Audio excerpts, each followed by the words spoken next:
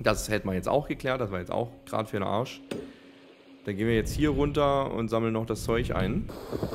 Vier, vier, fünf Stück, aber das war jetzt auch nicht so das Gelbe vom Ei. So, hier können wir, hier haben wir eine Gabe, eine, ein Opferaltar. Hier können wir sechs Quarz opfern.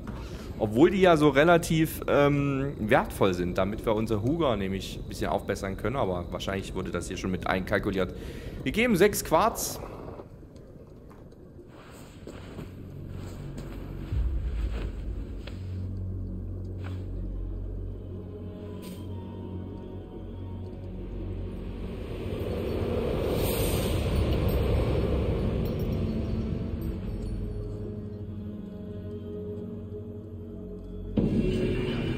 Standhafter Wächter. Ja, das war der Zwergenaltar, Hofgrad, Altar.